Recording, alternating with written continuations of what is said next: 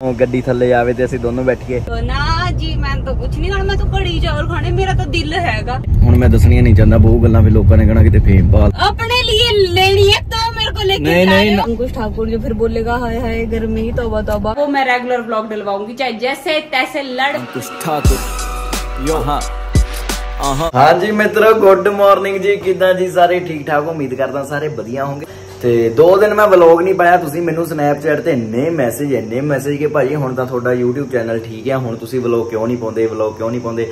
ਬਾਈ ਜੀ, ਜੇ ਦੋ ਦਿਨ ਮੈਂ ਵਲੌਗ ਨਹੀਂ ਪਾਇਆ ਤੇ ਤੁਹਾਡੇ ਕਰਕੇ ਹੀ ਨਹੀਂ ਪਾਇਆ, ਕਿਉਂਕਿ ਦੋ ਦਿਨ ਥੋੜੇ ਗਾਣੇ ਬਣਾਉਂਦੇ ਪਏ ਸੀਗੇ, ਠੀਕ ਆ? ਉਹ ਵੀ ਆਪਾਂ ਚੈਨਲ ਤੇ ਪਾਉਣੇ ਨਾ, ਉਹ ਵੀ ਤੁਹਾਡਾ ਮਨੋਰੰਜਨ ਕਰਾਉਣਾ ਨਾ, ਇਸ ਕਰਕੇ ਆਪਾਂ ਦੋ ਦਿਨ ਗਾਣੇ ਬਣਾ ਰਹੇ ਸੀ। ਸਟੂਡੀਓ 'ਚ ਸੀਗਾ ਸਟੂਡੀਓ ਮੈਂ ਅੱਜ ਵੀ ਜਾਣਾ, ਪਰ ਮੈਂ ਕਿਹਾ ਚਲੋ ਤਿੰਨ ਦਿਨ ਜ਼ਿਆਦਾ ਹੋਏ ਨੇ, ਜੇ ਤੇ ਅੱਜ ਦੇ ਦਿਨ ਵੀ ਨਹੀਂ ਵਲੌਗ ਪਾਇਆ, ਫੇਰ ਕੰਮ ਔਖਾ ਹੋ ਜਾਊਗਾ ਕਿ ਅੱਜ ਆਪਾਂ ਥੋੜਾ ਬਹੁਤਾ ਵਲੌਗ ਬਣਾ ਲਈਏ।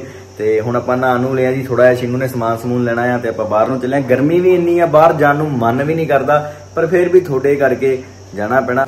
ਜਾਂਦੇ ਹੋਏ ਗੱਡੀ 'ਚ ਵੀ ਨਹੀਂ ਬੈਠੇ ਜਾਣਾ ਬਾਹਰ ਬਾਹਰ ਜਾ ਕੇ ਇੰਨੀ ਗਰਮੀ ਆ। ਗੱਡੀ ਵੀ ਐਨ ਗਰਮੋ ਗਰਮ ਹੋਈ ਜਾਣੀ ਪਰ ਔਖਾ ਸੌਖਾ ਹੋ ਕੇ ਬਹਿਣਾ ਪੈਣਾ। ਉਹ ਦੇਖੋ ਮੈਡਮ ਨੂੰ। ਹਾਂਜੀ ਓਕੇ ਹੋ ਠੀਕ ਹੋ ਤੁਸੀਂ? ਇਹ ਵੀ ਤੁਹਾਨੂੰ ਦੋ ਤਿੰਨ ਦਿਨ ਬਾਅਦ ਵਲੌਗ 'ਚ ਦਿਖਿਆ ਇਹਦਾ ਸਨੈਪਚੈਟਾਂ ਵੀ ਨਹੀਂ ਪਾਉਂਦੀ ਮੈਂ ਇੰਨਾ ਜ਼ੋਰ ਲਾਉਣਾ ਸਨੈਪਚੈਟ ਪਾਇਆ ਕਰ ਸਨੈਪਚੈਟ ਪਾਇਆ ਕਰ। ਮੈਂ ਤਾਂ ਫੇਰ ਵੀ ਮਾੜਾ ਮੋਟਾ ਘੁੰਮਦਾ ਫਿਰਦਾ ਤੁਹਾਨੂੰ ਸਾਰਿਆਂ ਨੂੰ ਦਿਖਾ ਦਿੰਦਾ।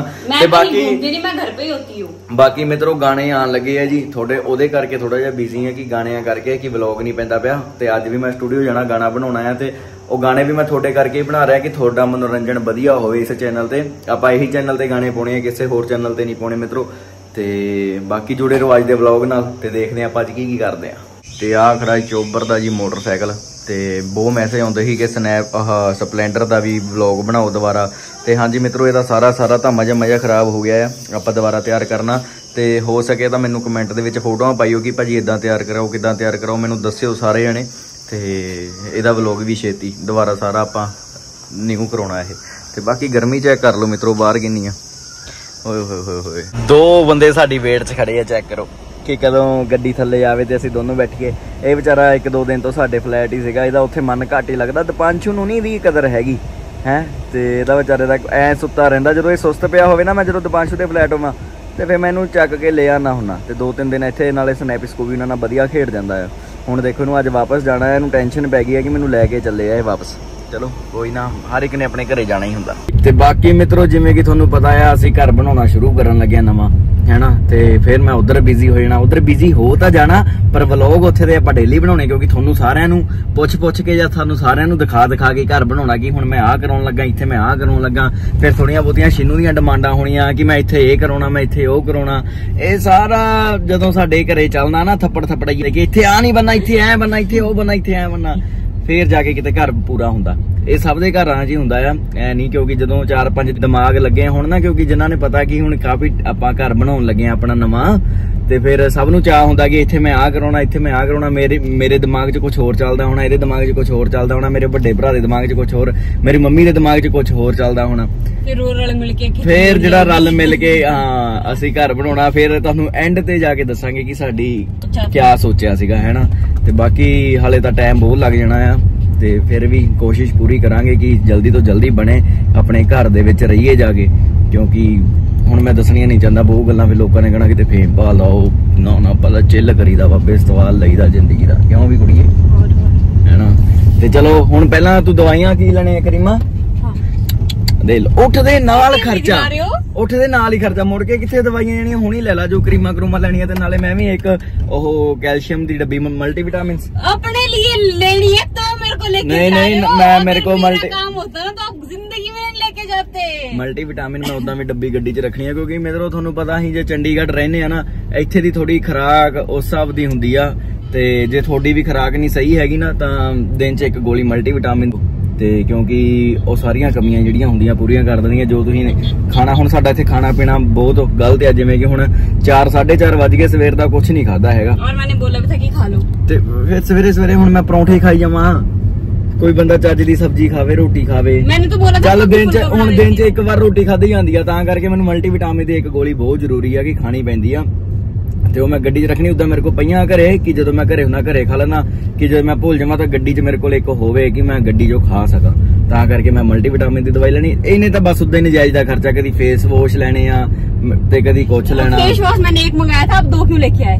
ਉਹ ਤਾਂ ਚੱਲ ਮੈਨੂੰ ਇੱਕ ਦੇ ਨਾਲ ਇੱਕ ਫ੍ਰੀ ਮਿਲਦਾ ਸੀ। ਮੈਂ ਕਿਹਾ ਚੱਲ ਜਿੱਥੇ 550 ਰੁਪਏ ਦਾ ਇੱਕ ਮਿਲਦਾ ਸੀ, ਉਹਨਾਂ ਨੇ ਮੈਨੂੰ 550 ਦੇ ਦੋ ਦੇ ਦਿੱਤੇ। ਹਾਂ ਸੋ ਉਹਨਾਂ ਨੇ ਮੈਨੂੰ 600 ਰੁਪਏ ਦੇ ਦੋ ਦਿੱਤੇ 500 ਕੁਛ ਰੁਪਏ ਦੇ ਸੀਗੇ।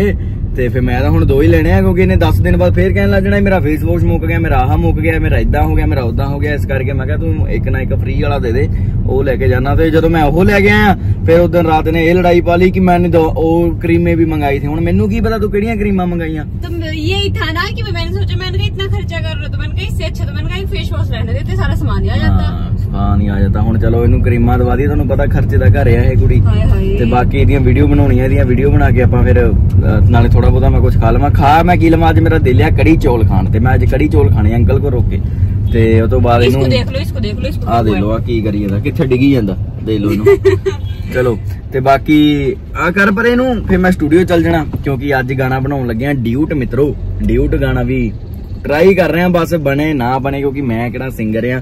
ਬਸ ਮੈਂ ਇੱਕ ਕੋਸ਼ਿਸ਼ ਕਰਦਾ ਪਿਆ ਕਿ ਸ਼ਾਇਦ ਲੱਗ ਜੇ ਤੁੱਕਾ। ਸਾਰੇ ਸੂਤ ਲਾਉਣ ਨਹੀਂ ਫਿਰਦੇ ਤੇ ਆਪਾਂ ਵੀ ਸੂਤ ਲਾ ਲਈਏ। ਤੇ ਆ ਗਿਆ ਮੈਡੀਕਲ ਸਾਹਮਣੇ ਤੇ ਫਿਰ ਮੈਂ ਆਇਆ ਦਵਾਈ ਦਵਾਈ ਲੈ ਕੇ ਇਹਨੂੰ ਦਵਾ ਕੇ ਉਹ ਕਰੀਮਾਂ ਜੀਆਂ ਫੇ ਮਿਲਦਾ। ਇਹਨੂੰ ਦੇਖ ਲਓ। ਸ਼ੀਨੂ ਉੱਠ ਕੇ ਬਾਹਰ ਗਈ ਹੈ ਤੇ ਇਹਨੂੰ ਦੇਖ ਲਓ। ਦੇਖਣ ਲੱਗ ਗਿਆ ਕਿ ਗਈ ਕਿੱਥੇ? ਕੁੜੀ ਗਈ ਕਿੱਥੇ? ਕੁੜੀ ਕੁੜੀ ਉਹ ਚਲ ਗਈ ਸਾਹਮਣੇ। ਉਹ ਅਪੋਲੋ ਫਾਰਮੇਸੀ ਵਾਲੇ ਕੋ ਚਲ ਗਈ। ਠੀਕ ਹੈ ਤੇ ਆ ਮਿੱਤਰੋ ਜਿਹੜਾ ਮੇਰਾ ਸ਼ੀਸ਼ਾ ਟੁੱਟ ਗਿਆ ਨਾ ਬੜੇ ਮੈਸੇਜ ਆਉਂਦੇ, ਭਾਜੀ, ਤੁਸੀਂ ਸ਼ੀਸ਼ਾ ਕਿਉਂ ਨਹੀਂ ਬੋਂਦੇ ਬੇ? ਬਾਈ, ਮੈਂ ਕਹਿੰਦਾ, ਨਜ਼ਰ ਬੱਟੂ ਸਹੀ ਆ। ਉਹਦਾ ਸ਼ੀਸ਼ਾ ਟੁੱਟਿਆ ਸਹੀ ਨਹੀਂ ਹੁੰਦਾ, ਮੈਨੂੰ ਪਤਾ ਆ। ਪਰ ਟਾਈਮ ਹੀ ਨਹੀਂ ਲੱਗ ਰਿਹਾ ਮਿੱਤਰੋ ਪਾਉਣ ਦਾ, ਕੀ ਕਰਾਂ? ਕਿਉਂਕਿ ਇਹ ਪੈਣਾ ਕਲੇਮ 'ਚ ਆ। ਉਦਾਂ ਜੇ ਮੈਂ ਪਵਾਇਆ 5-7000 ਰੁਪਏ ਦਾ ਪੈਣਾ, ਤੇ ਜੇ ਕਲੇਮ 'ਚ ਪਵਾਇਆ ਤਾਂ ਤੁਹਾਨੂੰ ਪਤਾ 1200 ਰੁਪਏ ਲੱਗਣਾ। ਜਦੋਂ ਕਲੇਮ ਲੈਣਾ ਹੀ ਆ, ਫਿਰ ਆਪਾਂ ਥੋੜਾ ਜਿਹਾ ਇਧਰੋਂ ਉਧਰੋਂ ਗੱਡੀ ਮਾਰ ਕੇ ਹੋਰ ਲੈ ਲਾਂਗੇ। ਆਓ, ਮੈਨੂੰ ਕੀ ਕੀ ਲਿਆਉਂਦਾ? ਦਿਖਾਓ।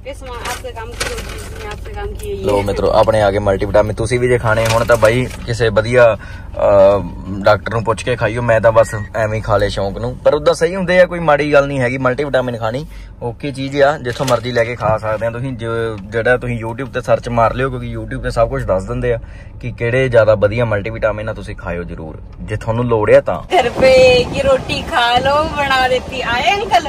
अंकल आए ਅੰਕਲ ਆਏ ਆ ਆਪਾਂ ਲੇਟ ਹੋ ਗਏ ਆ। ਲੋ ਮਿੱਤਰੋ ਕੜੀ ਚਾਵਲ ਖਾਣ ਤੇ ਇੰਨਾ ਦਿਲ ਸੀ ਪਰ ਅੰਕਲ ਜੀ ਚਲੇ ਗਏ ਆ ਟਾਈਮ 4:30 ਹੋ ਗਿਆ ਨਾ ਅੰਕਲ ਤਾਂ ਚੱਲ ਜਾਂਦਾ 2:30 3 ਵਜੇ ਮੈਨੂੰ ਲੱਗਦਾ 3 3:30 ਵਜੇ ਹੁਣ ਮੈਨੂੰ ਲੱਗਦਾ ਅੱਗੋਂ ਹੀ ਕੁਝ ਦੇਖਣਾ ਪੈਣਾ ਖਾਣ ਨੂੰ कितना जोर लगाया मैंने कि गोभी खा लो परांठी खा लो ना जी मैं तो कुछ नहीं खाना मैं तो कड़ी चावल खाने मेरा तो दिल हैगा दिल कर रहा हो जाओ आज परे ਤੇ खड़े ਬਾਕੀ ਮਿੱਤਰੋ ਜੇ ਤੁਸੀਂ ਮਲਟੀਵਿਟਾਮਿਨ ਖਾਣੇ ਆ ਮੈਂ ਇੱਕ ਚੀਜ਼ ਦੱਸਣੀ ਭੁੱਲ ਗਿਆ ਤੇ ਉਹ ਕੁਝ ਖਾ ਕੇ ਹੀ ਖਾਇਓ ਐਦਾਂ ਨਾ ਖਾ ਲਿਓ ਕਿਤੇ हाँ क्योंकि डॉक्टर साहब डेली यूट्यूब में हर एक चीज देखते ਹਾਂ हैं ਮੈਂ ਸਾਰੀ ਚੀਜ਼ਾਂ ਦੇਖ ਕੇ ਤੁਹਾਨੂੰ ਉਹ ਕਰਦਾ मैं ਨਹੀਂ ਤਾਂ ਖਾਣੇ ਵੀ ਤਾਂ ਆ ਜੇ ਤੁਹਾਨੂੰ ਲੋੜ ਆ ਨਹੀਂ ਤਾਂ ਨਾ एक एक दो दो घंटे डॉक्टर साहब लगाते हैं अपने यूट्यूब पे देखने के लिए कि क्या किससे क्या होता है कौन से विटामिन से क्या होता है और की ऐसे डॉक्टर साहब है ये ਹੋਰ चाहे कि खा ਹੋਰ के- ਕੱਲ ਨੂੰ ਮਲਟੀਵਿਟਾਮਿਨ ਤੁਹਾਨੂੰ ਕਰ ਦੇਣਾ ਸਾਈਡ ਇਫੈਕਟ ਆ ਤੇ ਤੁਸੀਂ ਮੇਰੇ ਗੱਲ ਪੈ ਜਾਓ ਸਾਰੇ ਮੈਂ ਨਹੀਂ ਬਾਈ ਕਹਿੰਦਾ ਇਦਾਂ ਦੀ ਚੀਜ਼ਾਂ ਚੀਜ਼ਾਂ ਖਾਓ ਵਧੀਆ ਚਿੱਲ ਕਰੋ ਰੋਟੀ ਰੋਟੀ ਖਾਓ ਲੱਸੀ ਲੁੱਸੀ ਪੀਓ ਗਰਮੀ ਇੰਨੀ ਆ ਹੈ ਮੈਂ ਵੀ ਹੁਣ ਲੱਸੀ ਪੀਣਾ ਕਿਤੇ ਰੋਕ ਕੇ ਕੜੀ ਚੋਲ ਦਾ ਮਿੱਤਰੋ ਮਿਲੇ ਨਹੀਂ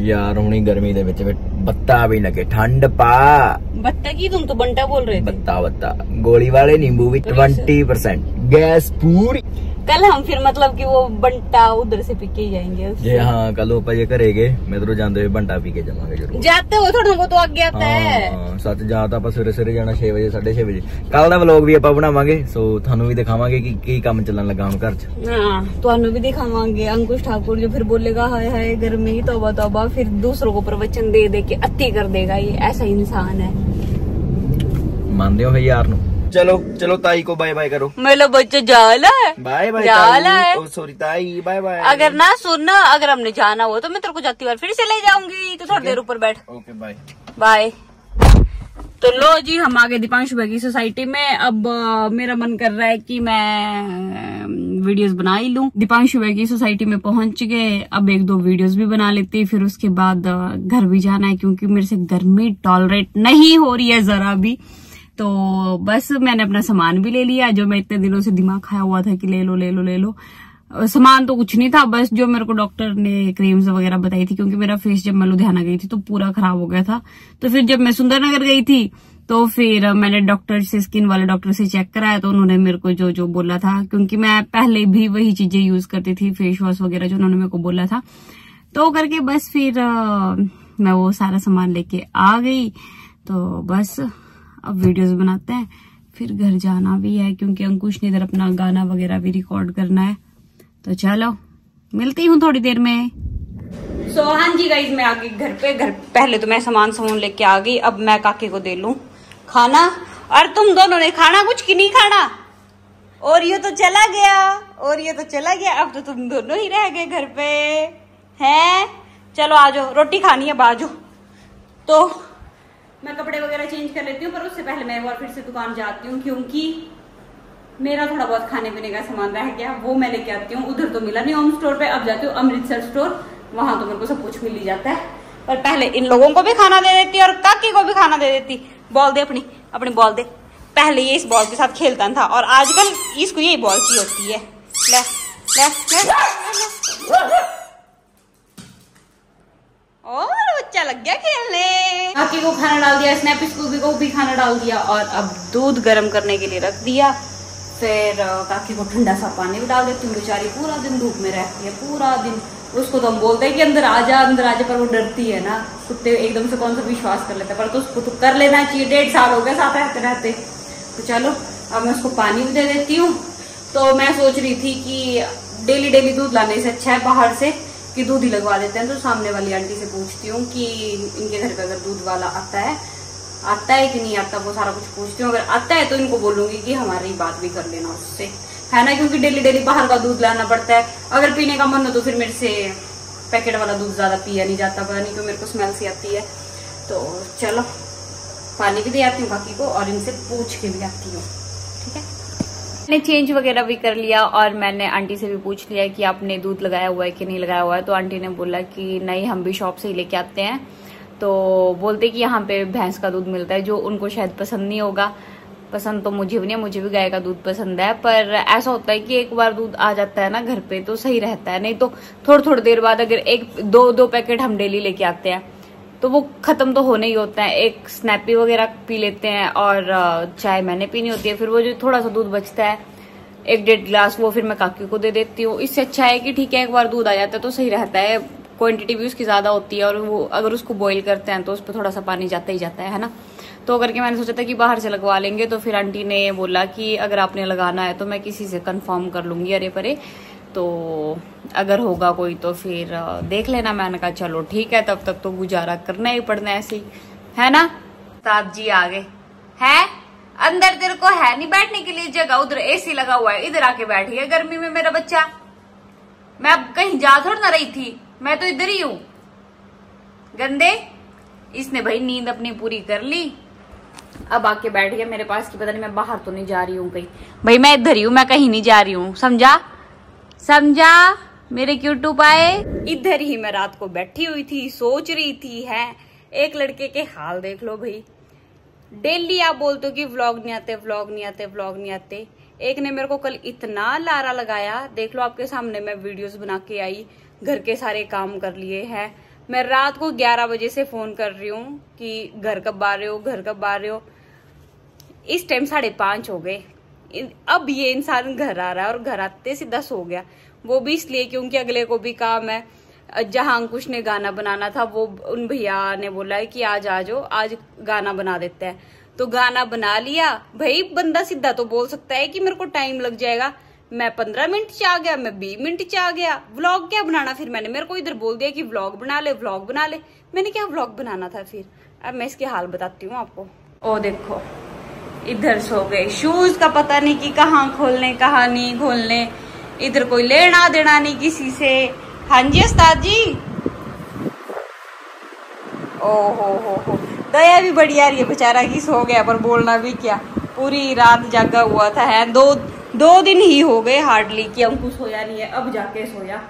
तो चलो, सोने देते और मैंने अपने लिए चाय चुए बना ली मैं चाय वगैरह पीती, फिर नहा धो के अपने काम करती अंकुश को तो कोई डिस्टर्ब नहीं करना। मैंने क्या पता उठते ही फिर फिर से लग जाए बोलने।